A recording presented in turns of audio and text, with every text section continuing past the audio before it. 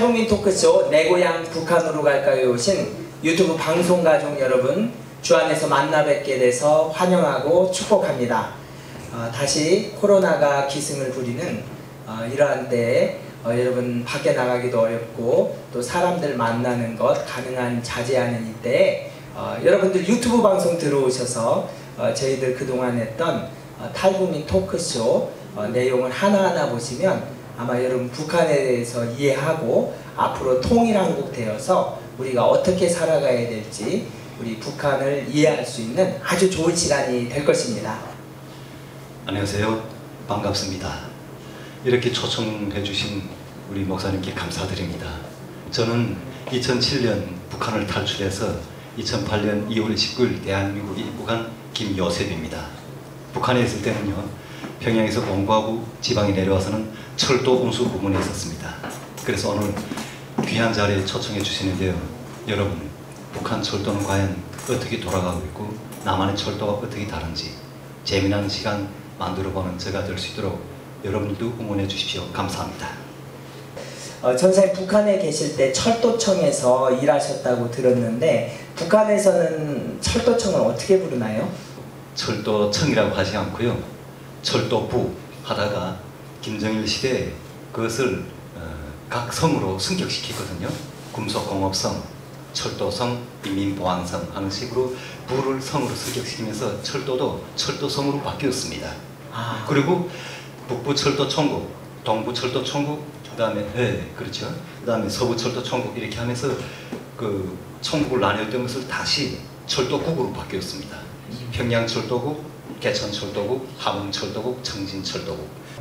어, 전사님 북한에서 철도 쪽에 일을 하셨는데 어, 그 일을 하게 된 어떤 계기가 있으셨나요? 꿈이 자연히 그또 철도하고 또 연결되더라고요. 아, 아버지의 뒤를 이어서 나는 철도 운수 부문에서 당사업을 해야 되겠구나. 이런 식으로 철도에 대해서 자연히 접하게 됐습니다.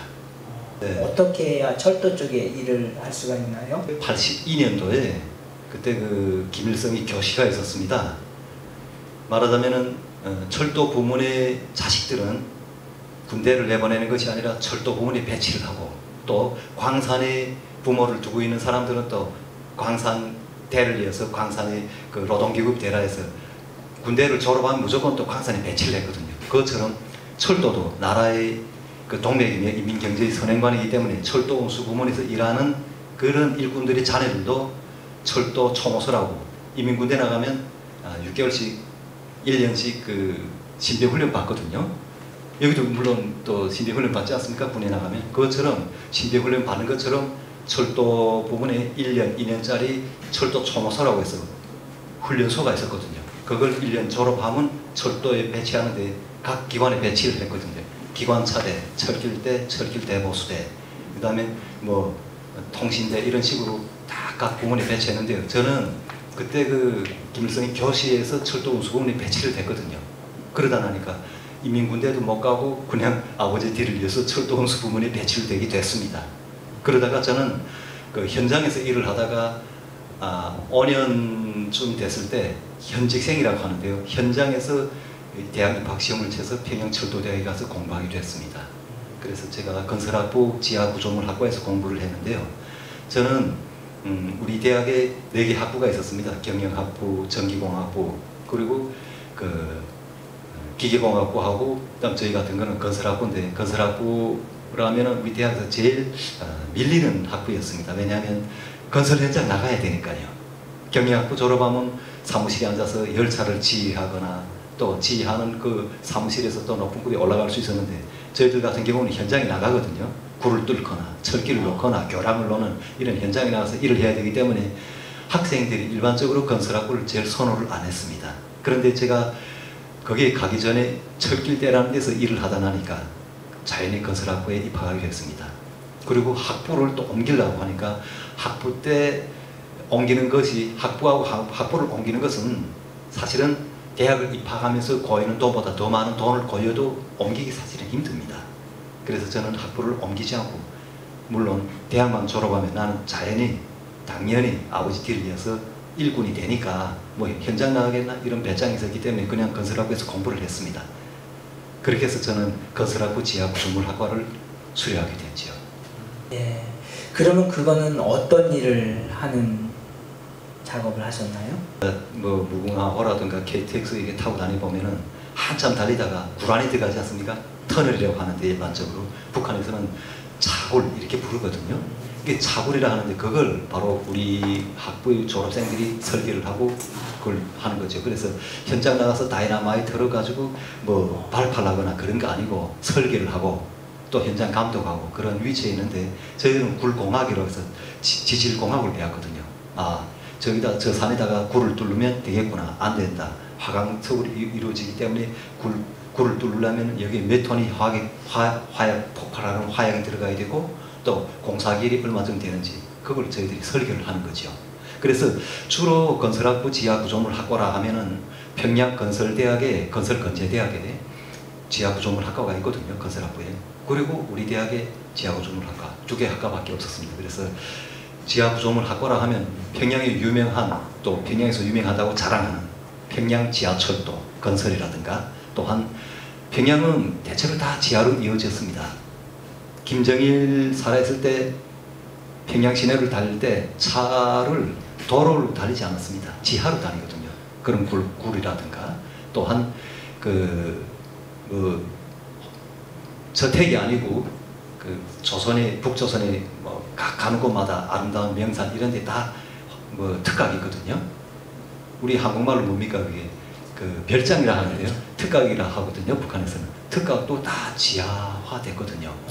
그러니까 그런 공사라든가 그리고 인민군 군단급 사단급 엄폐호라든가 혹은 호위사령부 지하구조물이라든가 이런 지하공사에 관한 일, 일련의 모든 것은 다 저희 학부 학과 졸업생들이 한다고 보시면 되겠습니다.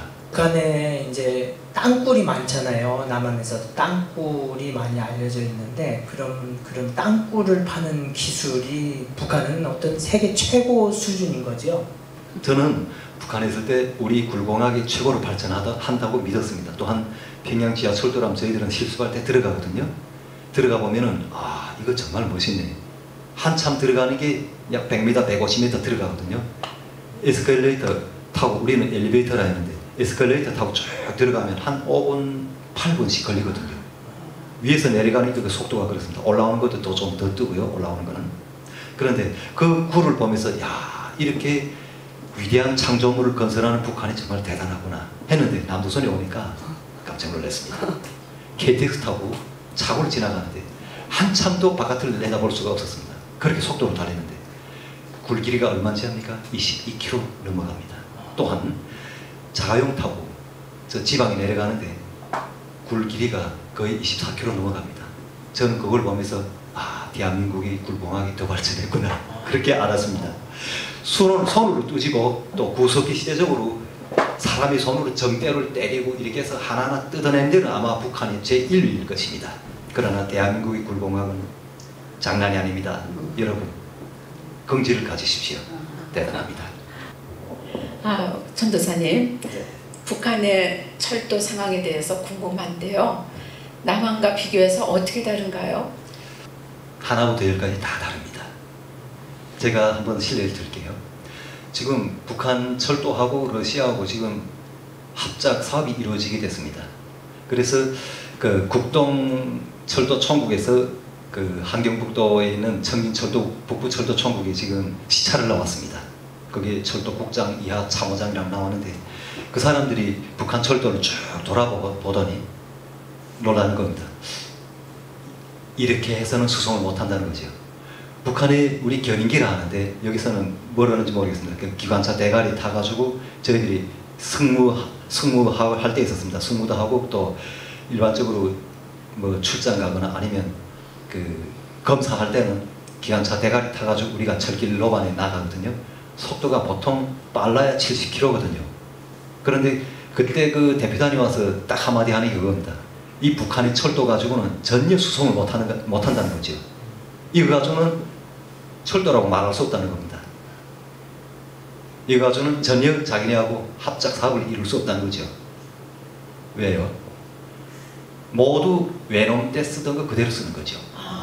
아, 즉 다시 말해 철길 우리가 봤습니다. 철길 보면은 1943년 그리고 평양부터 라진 행으로 해서 평라선이라 하는데 거기 기본 서- 뭐, 그 간선에 있는 모든 철길 레일은 레일은 중국에서 넘어온 겁니다. 철길 북한에서는 철길을 길이로 재는데 4, 3km, 50km, 6, 7레로 이렇게 하- 하거든요. 저- 레일이 1m 길이 하중이 43km면 43레루라 하고요. 1m의 무게가 50kg면 50레루라 하는 거죠. 50, 50kg레루. 그런데 이 간선 철도를 몽땅 50km를 바꾸면서 고속도화, 집중화하라고 해서 김일성이 한참 그럴 때 중국에서 뒤로 하는데 문제는 북한 자체에서 고주파 이런 로가 없다나니까 레일 생산을 못 한다는 겁니다. 북한에서 생산되는 특히 황해 제철소에서 생산되는 레일은 북한에서 한참 구석진 탄광이라든가 아니면 일반적으로 기관 기업소에 들어가는 전용선이라든가 이렇게 여기에 열차나 아니면 화물수송 집중 열차들이 지나갈 수 없는 한적한 곳에 차량을 세워두기 위해서 쓸 수 있는 이런 레일이나 생산했지 기본 고속철도를 깔 수 있는 이런 레일은 아니었거든요. 그러다 나니까 이런 레일도 생산도 못하고 하니까 중국에 의존해서 딜에다 놓고 다 깔았거든요.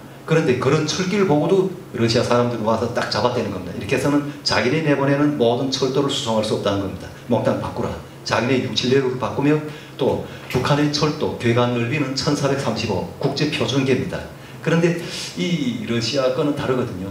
1537이거든요. 그러니까 관계라고 하는데 그 관계 철도하고 우리 표준계를 맞추려니까 안 되지 않습니까? 그러다 나니까 두만강 철도 뭐 북부 뭐 철도역에 가면은 러시아에서 나오는 기차 방통과 북한에서 다시 러시아 들어간 기차 방통과 이렇게 환적하는 중계장이 있습니다. 기중기를 들어가지고 대차를 바꾸는 거죠 밑에 바퀴를 왜냐하면 이 레일이 괴간 넓이가 다르기 때문에 그러다 나니까 이런 것도 다르고 또 통신 체계가 외놈 때 체계입니다. 아니 지금 다 자동화되는데 어디서 이런 통표라고 줍니다. 길, 길 차지표라고 이런 거 해가지고 통표를 주는 거죠. 외놈 때 발걸해가지고 이렇게 하던 그 통표를 말하자면 평양 출발해서 다음 역인 서, 서평양역까지 간다면 그 역까지 갈 수 있는 허가증을 내주는 거죠. 그걸 사람들이 일일이 수작업하는 겁니다. 그거 김일성 때 평양부터 신성천까지는 반자동화해서 했는데 그 이후 철도국은 몽땅 구석기 시대적인 거죠. 그러다 보니까 남한하고 북한 철도하면 대비가 안 됩니다. 제가 한 번 개성 지역에 나간 적이 있습니다. 개성역이 딱 내려서 보니까 철길이 다르기 때문에 야 이 철길이 달라 하니까 이것이 바로 개성공단 놓으면서 남한에서 협력해서 놓은 철길이라는 겁니다. 저는 철길 구조를 알기 때문에 딱 보고 철길은 바로 이렇게 돼야 돼. 레일은 바로 이렇게 돼야 하중이 견디고 모든 화물을 무사고로 수송할 수 있지. 그 옆에는 철길 우리 북한 철길 가리키면서 이렇게 해서는 안 된다. 바로 저도 눈- 눈에 띄우는 거죠. 그렇게 모든 수송 체계와 그다음 지, 뭐, 신호 체계, 그 다음에 철길, 그 다음에 객차, 화차 모든 수송 수단 단위가 북한하고 남한하고 하늘과 땅 차입니다. 아마 남북한의 철도 연결이 되고 또 철도 협력 사업이 진행된다면 남한에서는 엄청 고생해야 됩니다. 물론 제가 남조선이 와 한국에 와가지고 남한 청년들이 통일을 그닥 달고 안 하는데 우리 잘 사는 남한이 못 사는 북한 안고 방아찌 일게 있는가 숱한 돈이 나가고 우리 생활이 한, 한없이 떨어져가지고 거지가 되겠는데 뭐라도 못 사는 북한을 우리가 깨안고 장난해야 되고 고생해야 되는가 하는데 사실은 처음에는 좀 힘들 수 있습니다. 그러나 통일은 기회이며 우리 민족의 생명인 줄 압니다. 정말 북한의 철도는 하나부터 열까지 남한의 철도가 들어가서 도와줘야 됩니다. 이 북한 철도 시스템이 지금도 이제 70년 전 그 일제 때 그대로 쓰거든요. 여기 지금 국회의원 하는 송명길이 이 국방외통위원장 하죠. 그분이 한 2, 3년 전에 배- 북한에 피 가서 라진 선봉 지구 다 돌아봤거든요. 아마 그분이 보고 놀랐을 거예요. 예? 아, 이제 초보전도 말씀드렸지만 그 고난의 행군 때는 정기 사정이 너무 좋지 않아 가지고 양덕고개라 그래요. 양덕고개. 아마 대한민국 같으면 아마 뭐 저 터널 잘 뚫어 가지고 그 양고개 넘어갈 적에 사람이 내려서 기차를 밀고 올라갔어요. 맞죠? 네, 그렇습니다. 기차를 아마- 어떻게 밀어요? 무거운데. 왜냐하면 이, 이거 우리가 북한에 있는 전기 기관차라거든요 견인기를 이 견인기가 원래는 3,300볼트가 있어야 올라가거든요. 그래서 보면 북한에 보면 불군기호하고 6,321 하는데 앞에 맨 앞에 6은 6차당 대회 이후에 만든 기관차를 6천이라 하고요. 5,321하면 5차당 대회 때 나온 1970년대에 나온 견기를 5,000대라 하거든요. 그러니까 대체로 6, 6,000대입니다. 6,321, 6,325 하는데 이 마력수가 올라 안 가는 겁니다. 이게 매, 매 축마다 그 그게 있거든요. 뭡니까? 견, 견인하는 발동기가 있거든요. 근데 이것이 두 개 내지 세 개 망가져서 서거나 겨우 두 개밖에 세 개밖에 돌리지 못하거든요. 거기다가 전력이 3,300 전기 전압 들어오는 게 아니라 제가 견인기 올라가 봤습니다. 1,300 들어옵니다. 1,300. 1,500, 1,300 왔다 갔다 하는 거죠. 그러다 나니까 이 원리 밀어야 되겠는데 이 굽의 파밀리가 높, 높다, 높다 말입니다. 여기서도 한 번 사고 났습니다.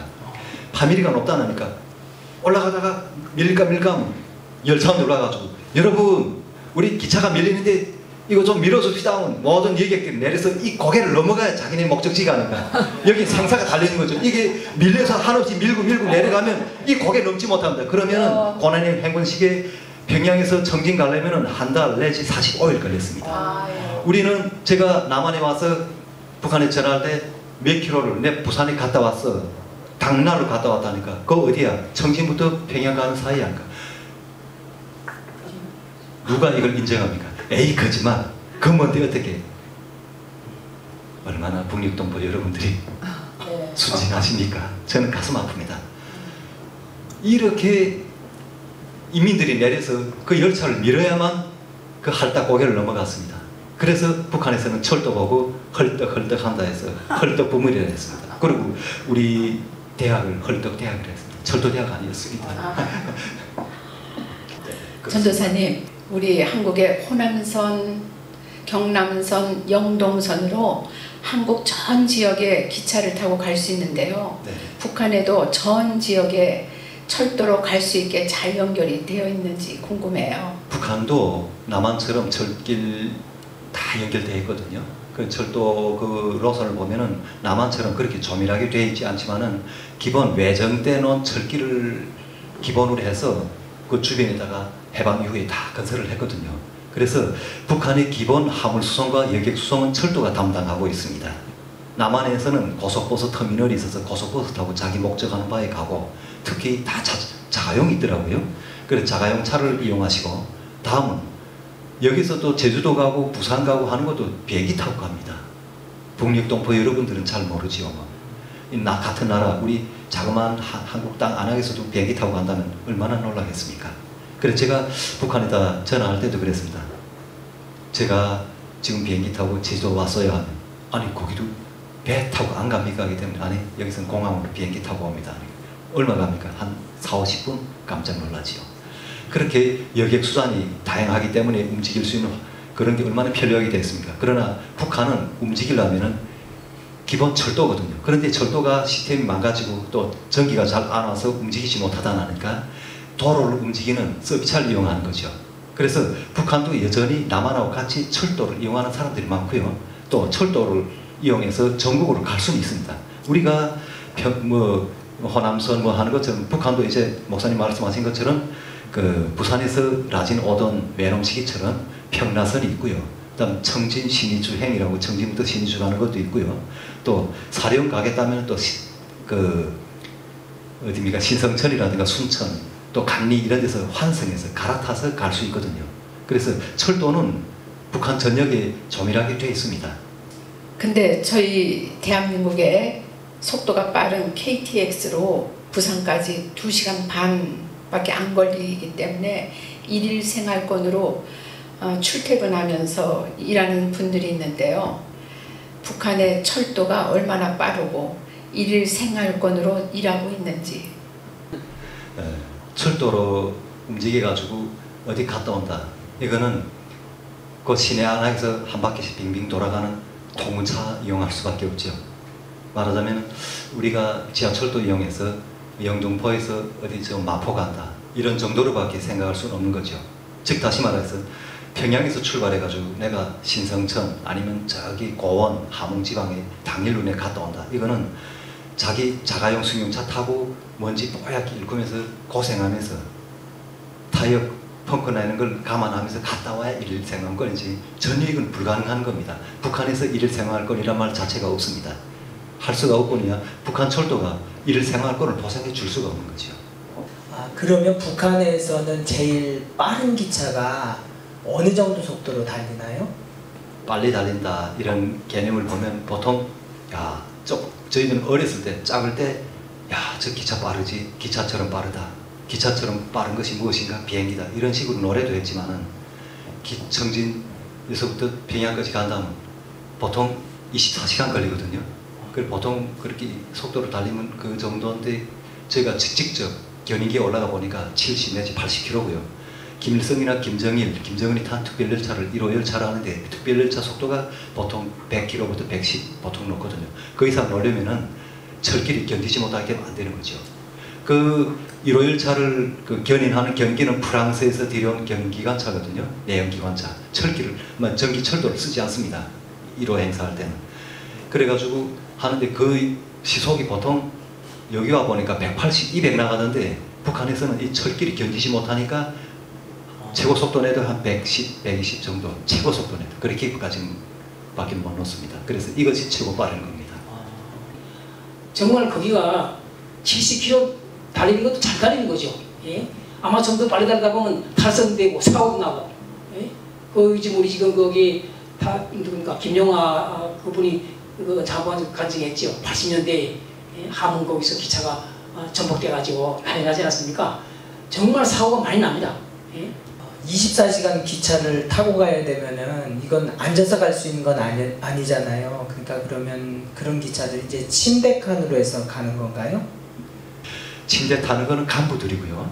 아니면 돈 많은 사람들이 몇십 배의 돈을 져가지고 뭐 침대표를 사가지고 타거나 그것도 없는 사람들은 할 수 없이 차표를 못 대니까 차라리 예물 고이고 아는 사람 통해서 탄다 해가지고 절에 뭐 좌석이 없는데 이 통로 있지 않습니까?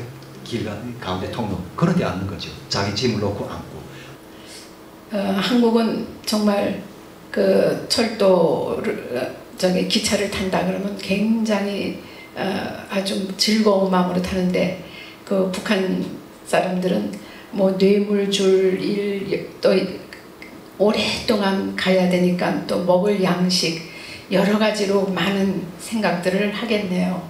전도사님 철도 일을 하면서 가장 힘들었던 점 또 철도 일을 하면서 가장 기억에 남는 일화가 있다면 한번 나눠주시죠. 철도 부문에 있으면서 제일 힘들었던 적은요. 이렇게 철도가 제대로 운영하지 못해가지고 많은 사람들이 굶어 죽었고 또 달리는 열차에서 가다가 서고 가다가 서고 하면서 거기서 굶어 죽고 또 떨어져 죽고 또 겨울에 열차가 너무 사람 많이 매달리다라니까 꼭대기까지 타거든요. 그래 그 잘못 일어서서 전차 선로에 부딪혀가지고 그 감전돼서 추락해 죽는 사람 그런 거 보고받고 그런 거 보는 그 모든 모습이 가- 지금도 가슴에 나는데 너무 가슴 아픕니다.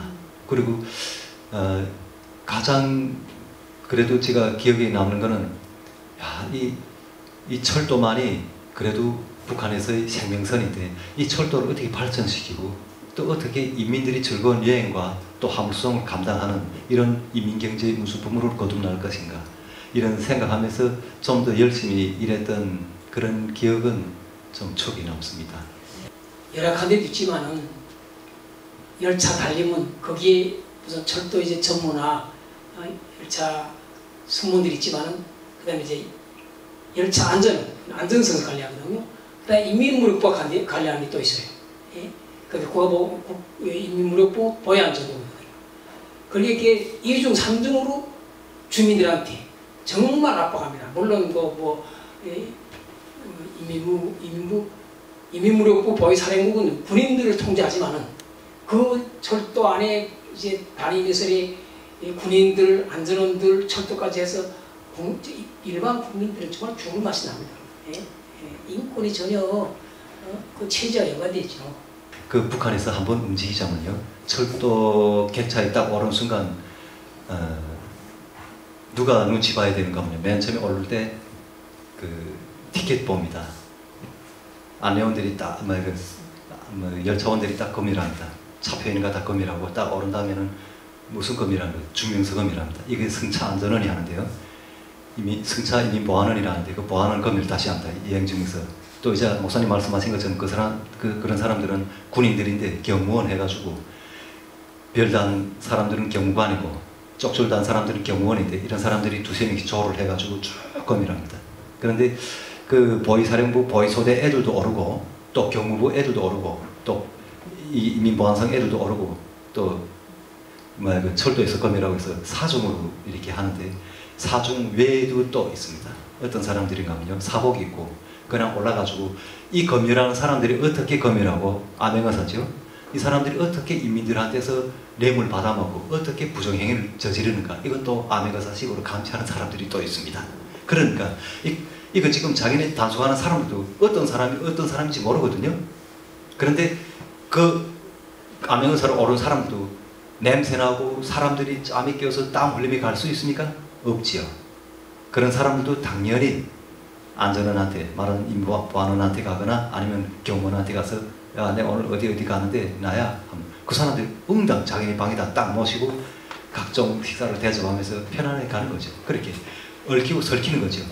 중앙에서 그 어떤 비리 행위에 대해서 이거에 대해서 철저히 없을 때 대해야 하고 뭐 김정은이나 김정일 지시 내려오면은 하고 말단까지 하자면 힘든 거죠. 왜냐하면 그 사람들도 가족이 있고 그 사람도 인간인지라 인지상정이라 어품 가품으로 이것 받아먹고 저것 받아먹고 이 사람 눈치 보고 이렇게 해가지고 다 엎어놓 타나니까 제일 고생하는 거는 일반 백성들이었습니다. 기차가 가다가 그렇게 쓰면 다른 버스를 타거나 다른 운송 수단을 통해서 어, 그 먹을 수 있는 데나 또 살아갈 수 있는 지역으로 이동을 시켜줘야 된다라고 생각을 하는데 아, 참 어떻게 그런 일이 일어날 수 있을까? 그 그거 북한이니까 가능했습니다. 북한에서는 열차 가다가 섰습니다. 그러면 국가가 거의 다 책임져 가지고 그 사람들이 에, 사고 나지 않게끔 안전한 데 이동하거나 또 다른 대체 수단을 동원해 가지고 그 사람들이 목적지까지 안전하게 수송을 해줘야 되는데 그거 아닙니다. 제가 평, 평양에서 배운 게 그거였습니다. 너희들 왜 떠나는데? 너희들 좋아서 떠나는 게 아니냐? 그래서 못 가도 너희 책임이다. 남한에서 제가 깜짝 놀란 게 그겁니다. 왜냐하면 어디 가다가 버스가 섰습니다. 혹은 전철이 섰습니다. 기차가 섰습니다. 공항이 출발 못합니다. 그 여행사 혹은 모든 관공기관 동원해가지고 그 사람들이 살 수 있고 어디 가서 먹을 수 있게끔 다 안내까지 하더라고요. 그리고 보상국까지 주고 북한에다 그 얘기를 했더라면 저는 뒤통수 맞습니다. 없습니다 그런 건. 너희, 너희들이 알아서 움직이지 너 책임이지. 그대로죠. 굶어 죽든 살아서 너네 어디 가든 그건 너희 책임이고 너희들이 자유의지라는 거죠. 책임이 없습니다. 어, 화제를 좀 바꿔서 저희 남한에서는 이제 러시아나 중국을 여행 가려면 북한을 통해서 가야 되니까 못 가니까 저희들이 다 비행기를 타고 가거든요. 그래서 저희들의 소원은 아, 기차를 통해서 중국이나 러시아 그리고 실크로드 길들을 통해서 이제 유럽까지 갈 수가 있는데 어, 북한은 이제 직접 연결이 되니까 어, 이제 중국이나 러시아를 통 러시아를 기차로 갈 수 있어서 참 좋겠다. 저희들이 부러워하는 것은 그러한 것들이거든요. 어떻게 박정 목사님 기차 타고 중국이나 러시아 가보셨나요? 북한 땅에서 국경을 통과 못합니다. 평양에 있는 몇몇 예, 외교관들 아니면 그래서 외화벌이 한 사람들, 예, 돈 있는 사람들 그 정도고 지방 지금은 라딘 선목, 예, 그다음에 이제 중국 연구자들 예, 어차피 좀 유행하지만 저는 뭐 예, 달을 뭐 가기 전까지는 중국 땅에 못 나왔겠습니다. 여권이란 말 자체를 몰랐습니다. 여권을 본 적도 없고요. 또 일반 사람들이 비행기를 탄다는 것은 개천에서 용난다 이거보다도 꿈 깨라고 그럽니다. 저희들 대학 졸업할 때 졸업생들 쭉 앉아가지고 얘기했습니다. 여기에서 비행기 문고리 잡을 사람 누굴까? 비행기를 가장 먼저 타볼 사람 누굴까? 제가 타국에서 태국에서 대한항공 타고 남한에 올 때 비행기 앉으니까 그 생각 먼저 났습니다. 아, 내가 구원받아서 이제는 대한민국 가구나. 내 조국 대한민국에 이렇게 해서 가는구나 하니까 그 감격이 넘치면서 우리 동창들이 얼굴이 떠올랐습니다. 그분들도 왔으면 얼마나 좋을까. 그런데 더 가슴 아픈 거는 남한에 와서 보니까 우리 한 지맥으로 이 땅, 이 땅에서 철도를 이용해서 평양도 가보고 신의주, 함흥, 청진 가면 얼마나 좋겠습니까? 장장 1만 킬로미터를 돌아서야 내 조국이 온 것이 너무나도 가슴 아팠습니다. 우리 이 땅은 인공적으로, 인위적으로 국토의 허리가 잘라지고 분단이 이루어졌지만은 반드시 우리가 하나 될 때가 오리라고 생각합니다. 어, 그러면 이제 정리를 하려고 하는데 어, 앞으로 우리가 이제 통일을 맞이하게 될 것이고 통일 이후에 어, 저희들은 이제 함께 어, 북한을 통해서 또 저희들이 해외까지 나갈 수 있는 철도의 발전을 위해서 어, 어떤 변화가 일어나야 된다. 그리고 무엇을 우리가 지금부터 준비해야 된다라고 생각하시나요? 가장 중요한 게 우리가 서로 남북을 이해하는 겁니다. 남한은 남한대로 자기식이 방식이 있고 북한은 북한대로 자기식이 방식이 있거든요.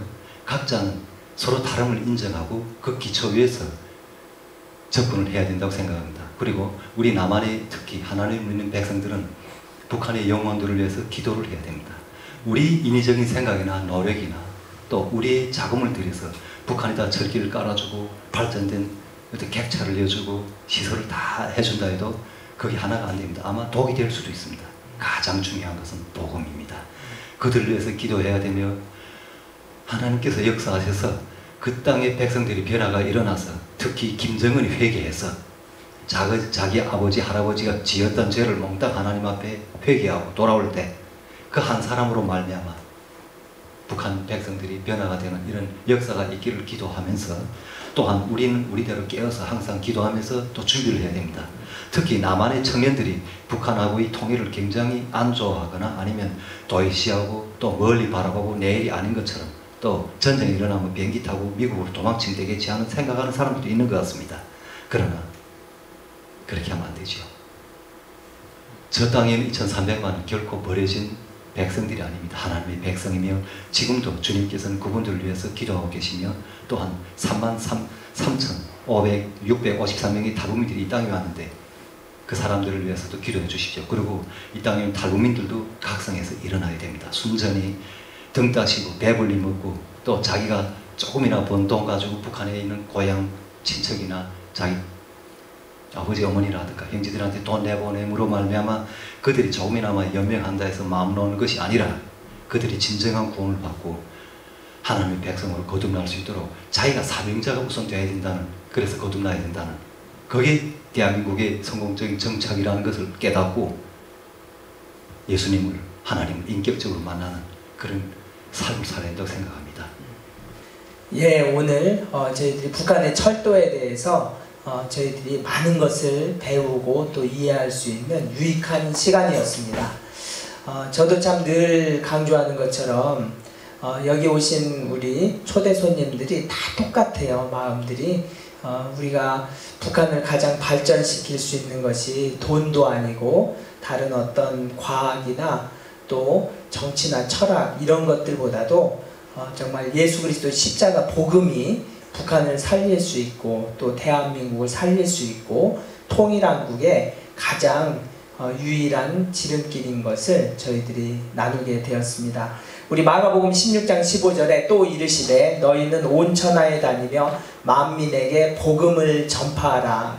이렇게 말씀하셨는데 어, 우리가 어, 복음 통일이 되는 그날 이 말씀을 우리는 더 순종하고 성취할 수 있도록 하기 위해서 어, 하나님께서 반드시 남한과 북한의 철도가 연결이 되고 또 그 철도를 통해서 우리 남한에 있는 많은 교회, 우리 기독교 성도들이 이제 북한을 지나서 그리고 중국과 러시아로 또 실크로드의 길을 통해서 많은 이슬람 국가들을 변화시키고 또 이스라엘까지 가서 복음화하게 돼서 예수 그리스도의 다시 오심이 준비되는 그러한 날을 우리가 상상하며 기대해 봅니다. 그러기 위해서 우리 여러분들 많이 응원해 주시고 또 이 방송을 알려주시고 어, 우리 좋아요 구독하기 눌러 주셔서 어, 저희들 이 탈북민 토크쇼가 또 어, 많은 분들이 함께 동참하는 가운데 또 어, 저희들이 보게 되고 또 이런 북한의 철도에 대해서 잘 발전할 수 있는 많은 방법들을 준비하는 시간들이 됐으면 좋겠습니다. 예, 여러분 또 다음 주 우리 새로운 주제로 여러분들 만나 뵙겠습니다. 우리 감사합니다. 같이 한번 인사하면서 마무리하겠습니다. 우리 다음 주에 뵙겠습니다. 감사합니다.